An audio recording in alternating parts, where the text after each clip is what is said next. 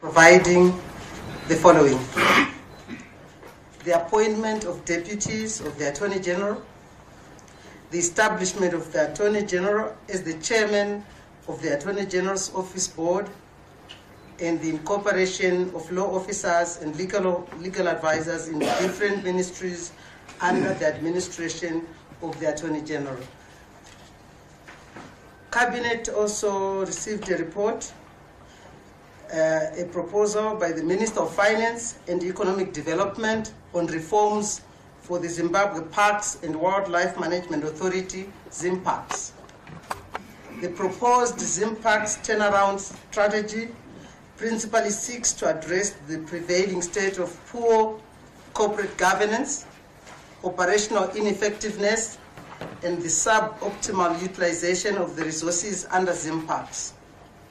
Cabinet accordingly resolved as follows that the commercial division of ZimParks be hived off to a special purpose vehicle in order to unlock the value in the commercial assets currently owned by ZimParks through joint venture arrangements with private sector partners. It also resolved that the initial capital investment equivalent to 11.9 million be injected towards the acquisition of modern anti-poaching equipment, support equipment, operational vehicles, support for national parks management activities, and maintenance of infrastructure. It also resolved that the RTGS 21.5 million debt owed by ZimParks be restructured so as to allow the authority more time to pay off the debt. And that the necessary legislative review be undertaken so as to inter alia strengthen the management and operations of ZimParks as well as to ensure the balance between the need to guarantee wildlife protection and to provide for other competing land uses. And finally, that the governance structures of the authority be strengthened in accordance with the provisions of the Public Entities and Corporate Governance Act. That was uh, the report from the Minister of Finance on ZimParks. Then Cabinet received a report from the Minister of Foreign Affairs and International Trade on the recent forum on China-Africa Cooperation FOCAC coordinators meeting which was held in Beijing in China from 24th to the 25th June 2019. The objective of the meeting was to review the implementation of the 2019-2020 action plan. Cabinet expressed great appreciation for the offer of a free grant of, of RMB, which is the Chinese money, 400 million, which is equivalent to about US 60 million, by the People's Republic of China towards the recovery and reconstruction program arising from the Cyclone Idai disaster. A further 6 million RMB, which is about US 870,000 US dollars. This is a grant which was also extended to Zimbabwe for the acquisition of forestry equipment. Then we also received a report on the energy and power supply situation in the country. The Minister of Energy and Power Development, Honorable Chasi, briefed Cabinet on the prevailing fuel and power supply situation in the country.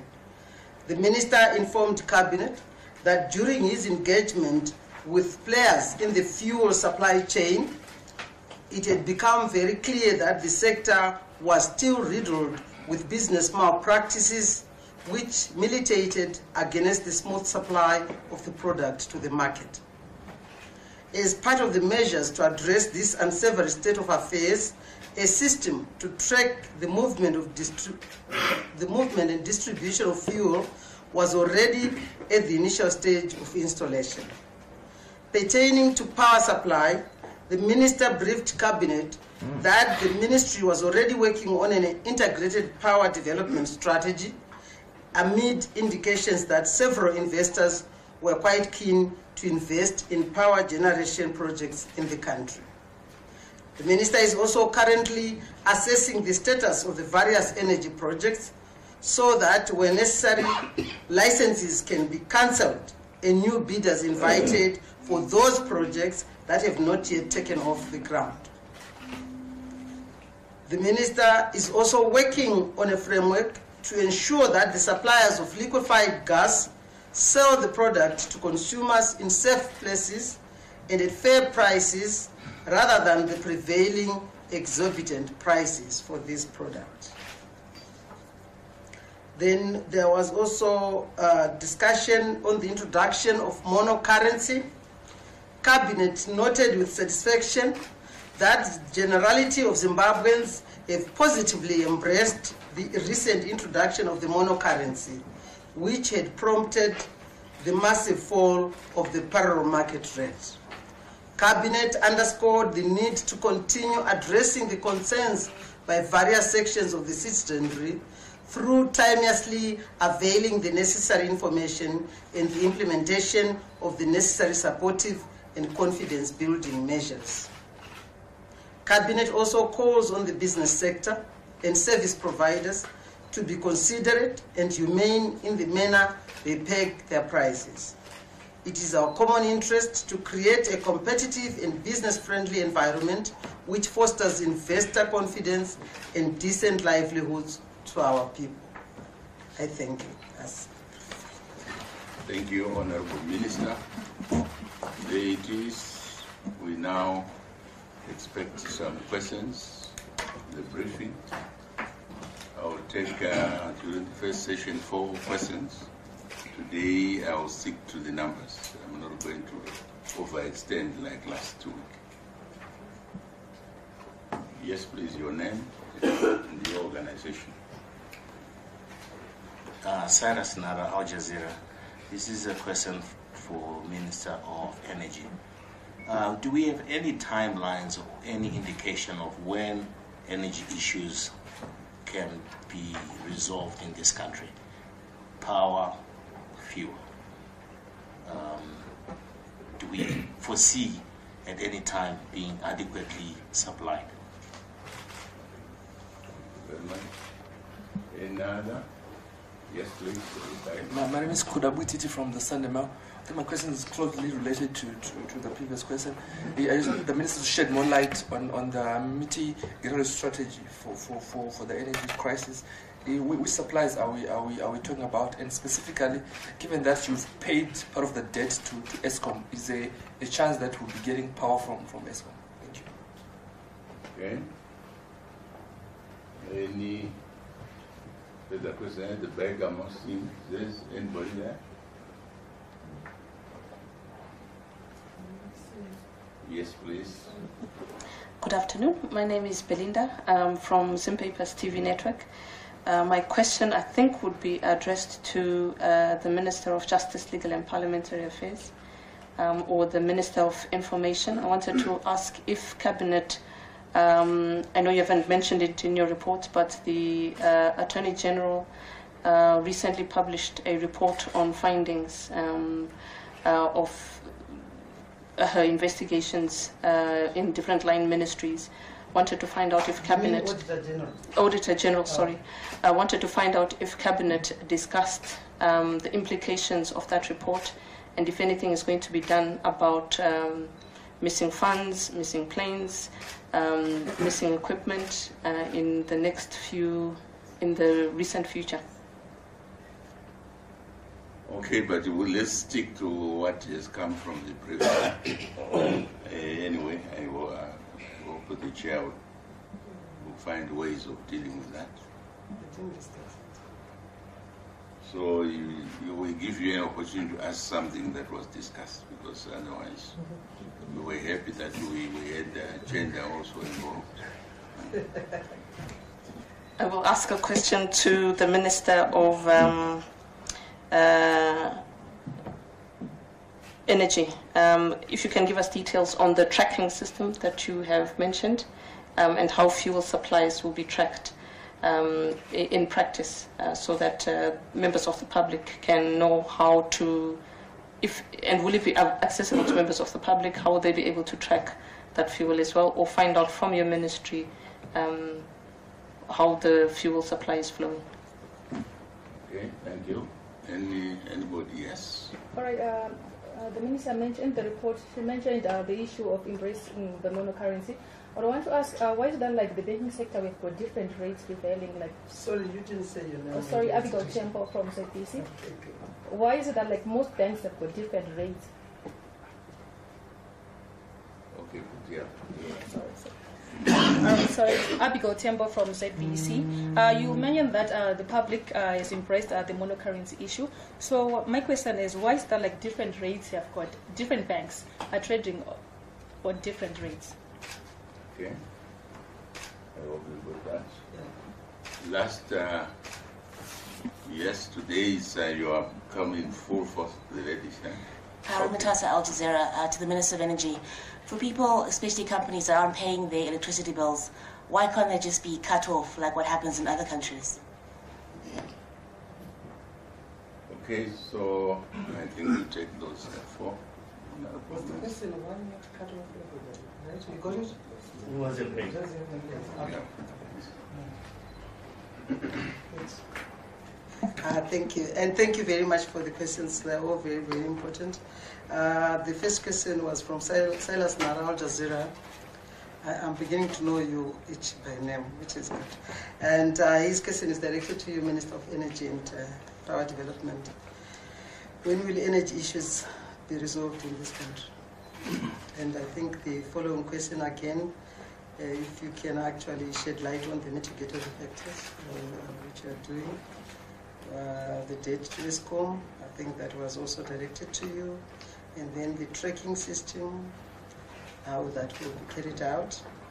And uh, finally, the last one, which was why not cover those who were. Thank you. Thank you very much. Today I'm going to be very careful with my facial expressions.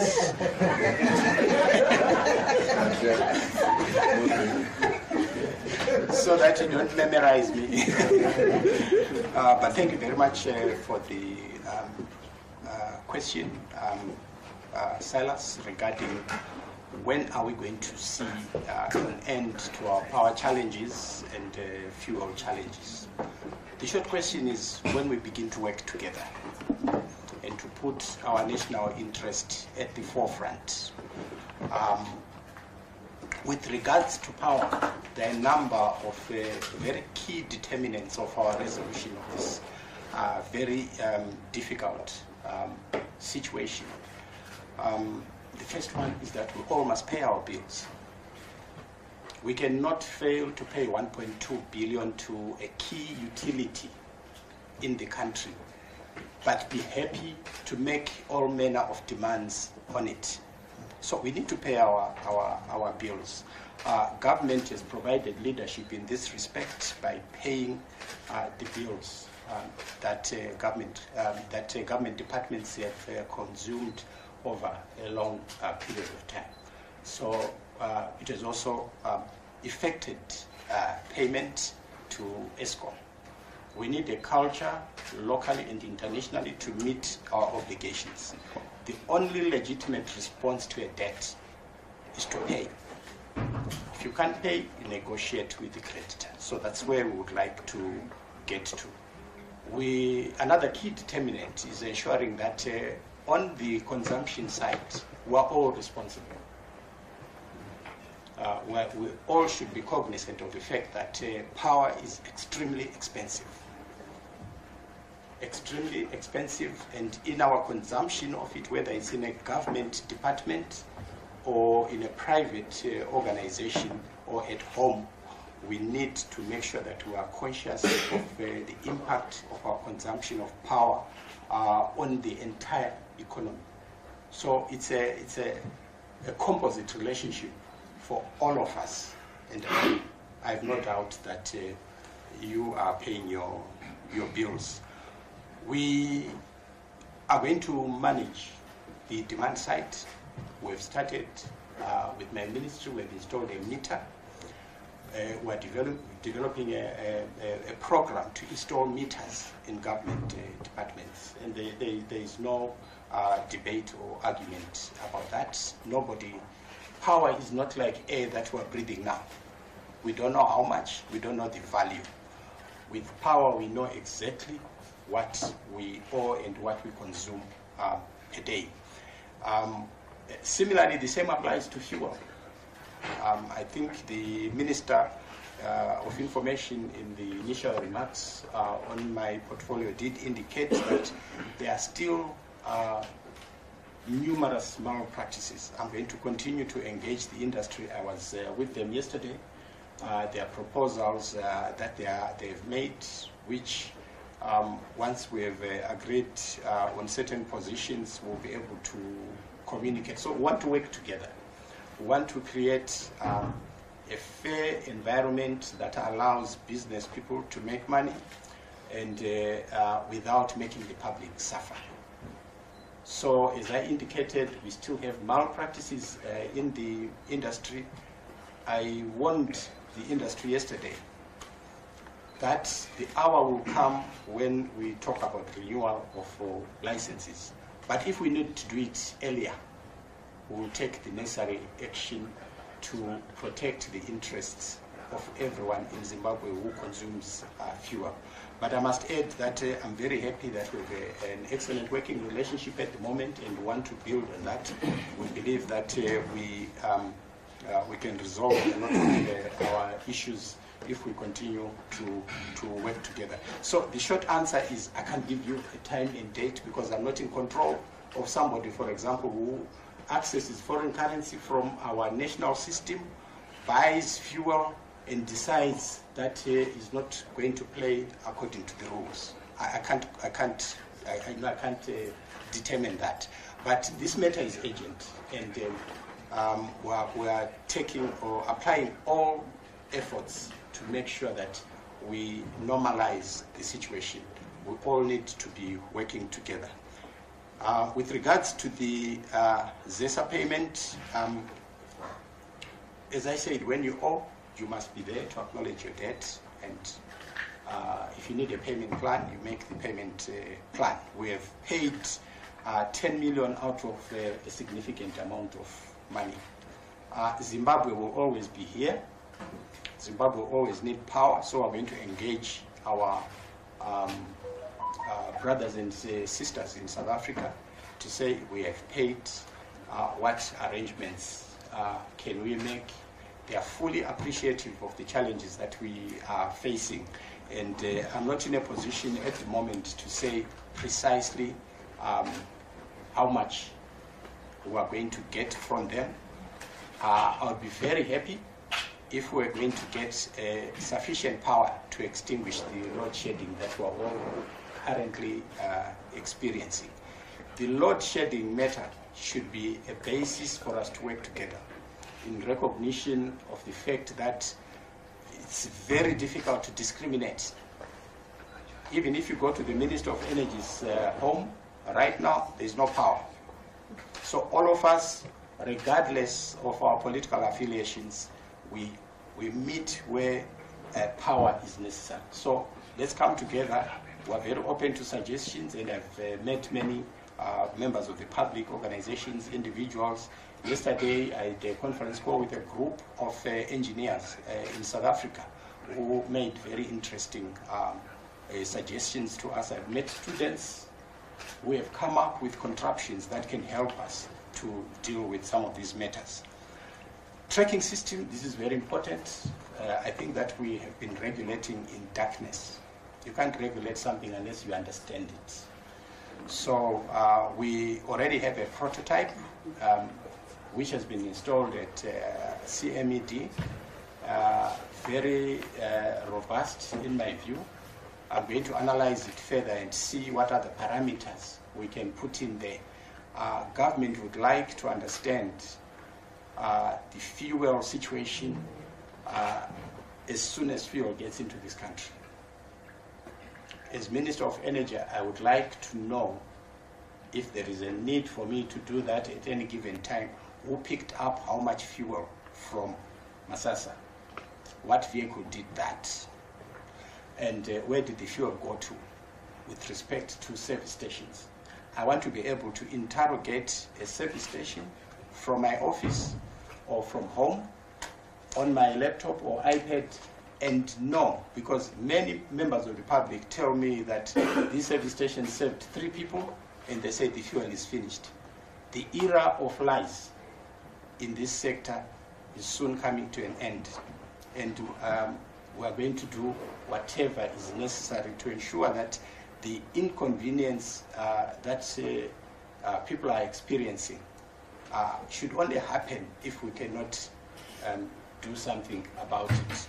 So uh, we are also looking at a, a rational distribution, not only of fuel by type, but rational distribution of service stations themselves. We would like the sector, and I've discussed this with them, that at any given time we need to be sensitive to the economic activities that are happening in the country. And so our fuel must speak to those situations. Uh, what do I mean? I mean that when we are in the wheat growing uh, season, like now, and uh, farmers need diesel, we must have, um, uh, must be able to, to discuss and agree on what is needed where. There is no point in having uh, thousands of liters of diesel in an area uh, where, for example, there is very little uh, activity uh, of an economic uh, nature. So we want to get to that level where we direct resources where they are needed at a particular time. But we also want to be able to uh, determine where a service station should be on an informed basis. We need evidence to know um, consumption patterns, and this system is going to help us uh, to do that. This system, together with other measures that government is going to take, is going to bring order in the fuel sector. We need order. If we don't have order, we'll have perennial uh, challenges that we're not able to resolve. Haru, uh, disconnections.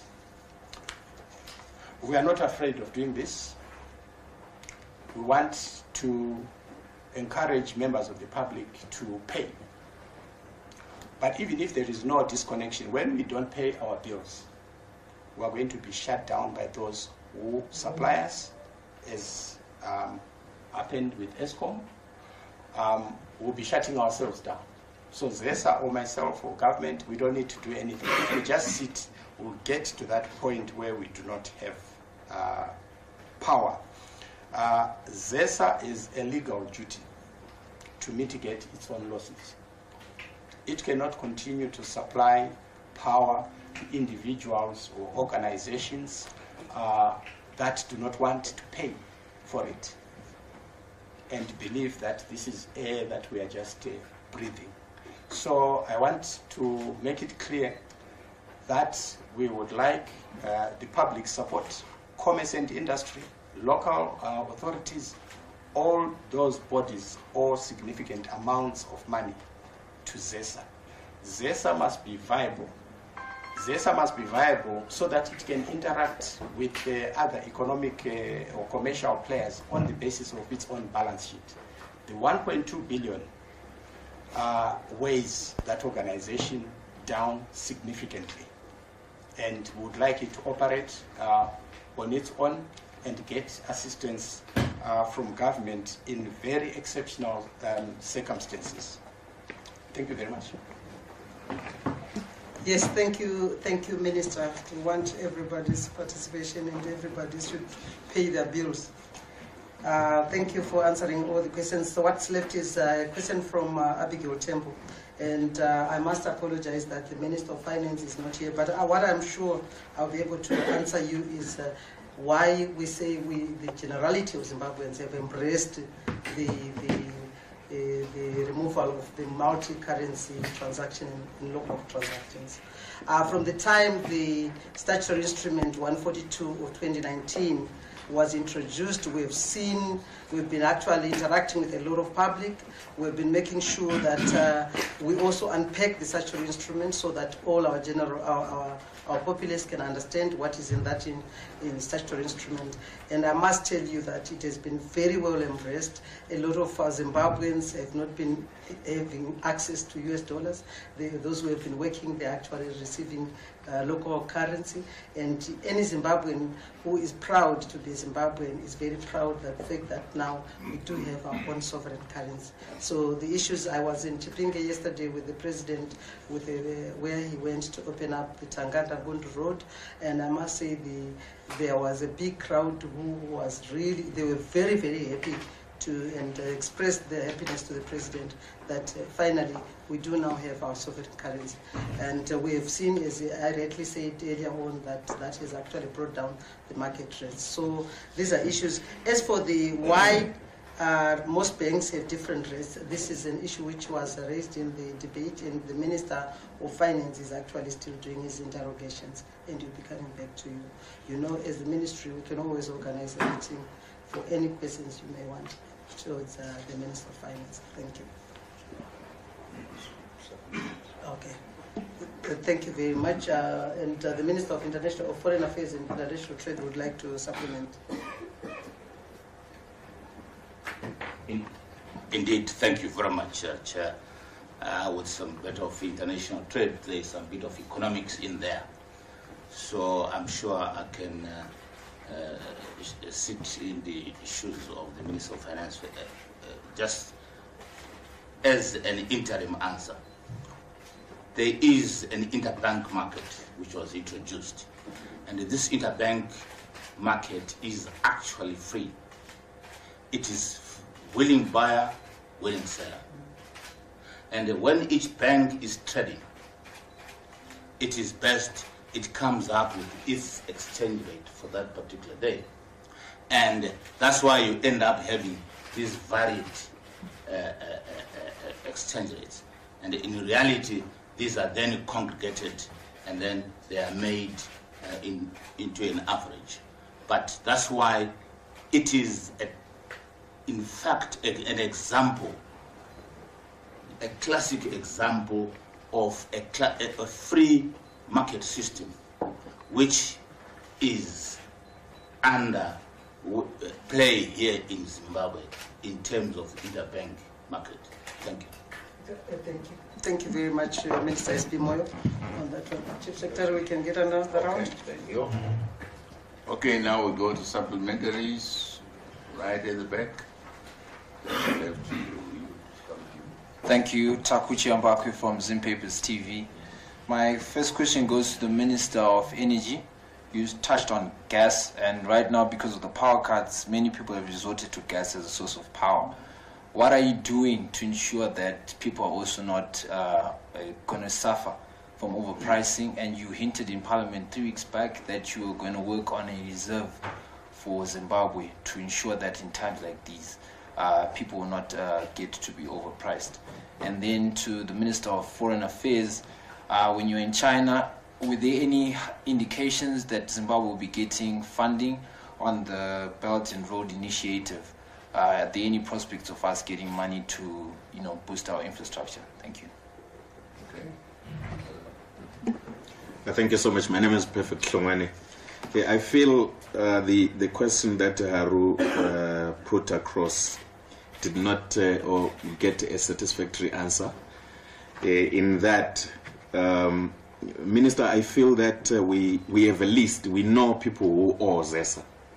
We know people who do, who didn't pay electricity or who have not paid electricity. Why are we treating them with kid gloves? because at the end of the day, it is people like myself who don't know, who don't owe anything to ZESA, that uh, are in the dark every time. So why why are we treating them like when we have the list, when we know them? Okay. Yes, yes. Thank you. My name is Costa from New Zimbabwe. I just want to ask something. I have been prompted by the message from Eskom. Last week, um, during the press briefing, uh, you told us that you had paid to 10 million to Eskom, and later it turned out that it was not true. Uh, I just want to find out could this be an indication that there is disharmony uh, in the government Uh, if not, what then pressured you to told us that you had paid when in actual fact you had not? Thank you. Last one, yes. Uh, thank you so much. My name is uh, Leopold Munhende. Unfortunately, my, my, my workmate uh, Avavun's a question. I wanted to give someone an opportunity. My request is to the Minister of Energy. Our names carry what he said from last week. If you could please just uh, maybe give us an apology. Thank you. And um, also, has government considered doing an environmental assessment of uh, the effects of load shedding recently I was talking to people in the street, in the ghettos, and they were saying that they were resorting to burning plastics, uh, deforestation to get kuti va- va- valaitewo moto vakwanise kubika is government are considering something like that thank you Okay, so that uh, was the last one. huh? Yeah, Taku had two, Perfect had one, Costa and Leopold Soweto. Okay. Back to the Uh, th- Thank you, uh, thank you, Chief Secretary, and once again, thank you for the questions. So Takuchi Hambakwe is asking about uh, many people resorting to gas. What are you doing to make sure that there are no overprices? And then follows through to Perfect Longwan, who says he feels that Haru's question was not answered uh, adequately. And uh, he says, and he went on to say, you have a list of people who have legacy debts. Why are you treating them with uh, gloves? And then other people are suffering. Then uh, next, the last one was uh, the Eskom debt, 10 million. And the question is there, did someone, is that what you asked? Oh, okay, all right. I- I- And then, of course, the last one is on environmental impact, if there is an environmental impact assessment of load shedding, because many people are using uh, some dangerous stuff to their health. Okay, Minister. Thank you very much. The question on gas, um, this is a very important uh, matter. We have challenges with uh, power, and so uh, many members of uh, the public um, um, are resorting to the use of uh, gas. It's a source of uh, energy that we need to popularize um, so that uh, people have got uh, alternatives. Uh, some who may not even have uh, um, elec- electricity at their residences can be able to. Um, it will also save us from deforestation. This is an area that has not been regulated. Uh, we need to come up with a framework. We're working on that. Uh, we prefer solutions that carry uh, players and stakeholders together with the government. So uh, I met uh, this sector, um, I think um, last week. Uh, we agreed uh, on the matters that we need to address. We're going to have a, a follow-up uh, meeting. But in addition to that, we also need to create the necessary regulatory environment that encourages uh, investment in this area. So we are also actively engaged um, um, in, in, in, in, that, in, that, in that respect. Of major concern, as I indicated to you, um, was the question of pricing. Um, there are all sorts of uh, prices. Um, some people still uh, want to live in the black market uh, era with complete uh, insensitivity to the public needs. When we issue licenses, as, I've said before, it's because we've considered the public interest and we think uh, and believe that uh, the licensee is going to comply with uh, um, the conditions. Similarly, as we go forward, those who are in this business uh, must expect that government requires quota. Uh, some are playing with some of the products. They are sourced from all manner of places. Uh, we need to regulate uh, the appliances, the tanks that they use, and their repairs because those are very dangerous uh, um, units. And so we're coming up with a legal framework that is going to, to be um, dealing with that. Um, perfect kids gloves. I don't know how you know what I have in my briefcase. I'm really not interested in lists of individuals. Um, I'm interested in the ballpark figure that is there. If local authorities owe 350 million, we can't go on like that. If us as the public continue to consume power without payment, uh, we cannot um, uh, expect that this is going to go on forever. It won't. D-Day will come, and it's, it's our responsibility to ensure that we um, do not um, travel on that road. I've emphasized to ZESA the need for the debt to be collected from everyone. I'm not in a position to say I'm energy minister, so uh, don't include me in the repayments or anything of that sort. We all need to pay our debts to assure ourselves of power. I also want to make a, a specific um, uh, public appeal to commerce and industry. They also owe significant amounts of money, and uh, we would, without power, they can't operate. And when they don't operate, life becomes very difficult for, for all of us. So I'm going to be engaging them to understand their take on this issue and their plans regarding payment uh, as an, uh, an industry and uh, to also to encourage them to engage ZESA on this um, very specific uh, uh, issue.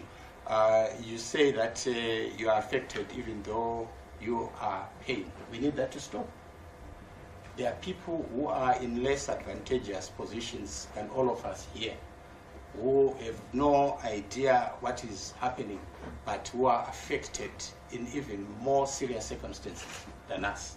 So I, uh, there, there, will be no kid gloves. I'm not a kid, so I don't have kid gloves. Uh, we, if it needs us to get to the point uh, of uh, the knuckle bones, knuckle bear, we, we have to do that I need that money to come to ZESA. And when it comes to ZESA, we want it to be applied to uh, situations that will increase or improve our generation of power or our conservation of power. Conservation, I, I mean, we need more money to buy meters, many meters. And I need to agree with ZESA on the deployment program for those uh, meters. But most importantly, even an organization um, has issues of governance.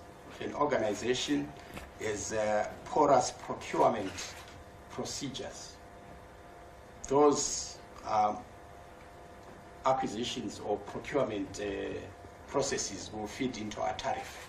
And we want to insulate the public from the inefficiency of an organization. So those that may have played a, a role in making uh, us get to this uh, situation, um, they, they, they, they really should know that we're not going to take it lying down. Everybody who is responsible for whatever they have done must answer for it.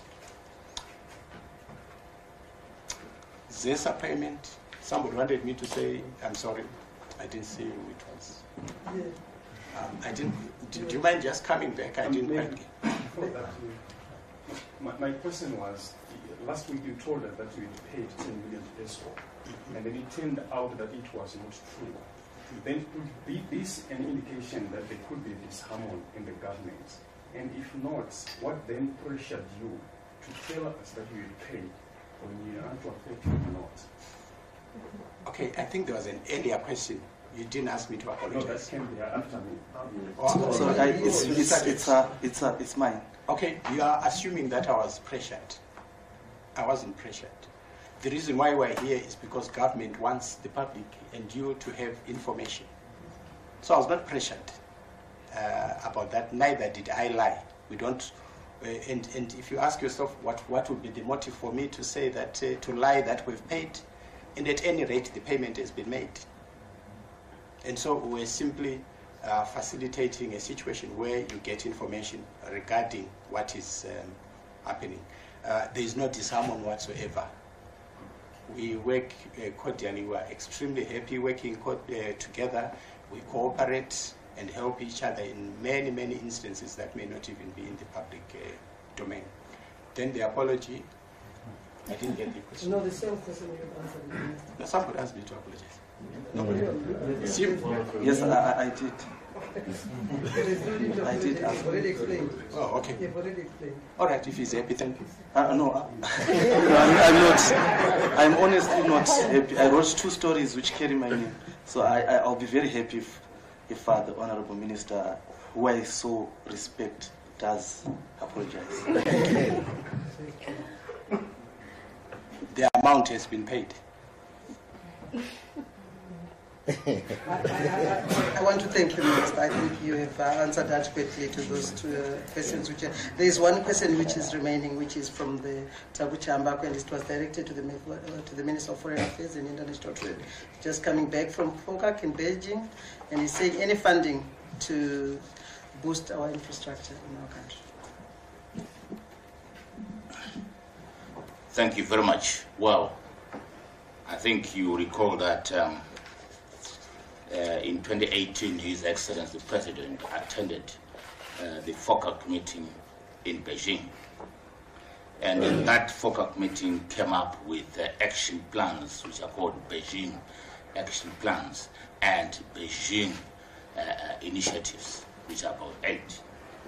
And uh, it was in that FOCAC meeting that a 60 billion facility was then uh, presented, and where uh, the, uh, the rest of Africa was to access uh, in terms of their financing and funding. But that is it may, the main purpose of uh, this visit to Beijing this time was uh, for the foreign ministers to go and coordinate the implementation and the effecting of this whole process, which was agreed upon by the summit last year. So, this is exactly what we went and did. But you must be clear already that China is already funding a lot of projects in this country, and it is probably one of the uh, major investors uh, in the country. We are talking about Hwange 78 power station, which is 600 megawatts. They've just finished uh, Kariba South, and they finished Victoria Falls Airport, and now they are uh, on the Harare Robert Mugabe. Yeah, uh, uh, International Airport. And um, uh, we are even talking about the TelOne project, which was an agreement of that nature of uh, uh, uh, uh, uh, 71 million was signed uh, recently by the Minister of Finance. And there are so many other investors in the different sectors of the economy and in the mining sector and so forth and so forth. So, what I can say is Chinese money is working in this country. Now, over and above that, they have even gone further to indicate, as was presented earlier on here, that there was a gratis uh, to, to support of 400 million RMB, which is about 60 million uh, dollars, for the reconstruction and uh, development resulting from uh, uh, uh, the cyclone, uh, uh, uh, cyclone Idai. Idai. And uh, uh, we, we have got uh, also a facility which was signed, uh, uh, uh, which is about uh, $870,000 to support the forestry uh, operations. So, in as far as the funding of infrastructure in this country uh, from China, that is exactly what is happening. And we have, of course, presented further projects uh, to, to them within the framework of the uh, eight Beijing initiatives and within the framework of that FOCAC uh, meeting so that we can continuously access. I thank you. Thank you very much, uh, ministers. Thank you. And over to you, Chief Secretary. Once again, thanks. Thank you very much. So we come to the end of our briefing. So we want to thank you, members of uh, the media, honorable ministers for taking on the questions until we meet next week. We say bye. Thank you. Thank you.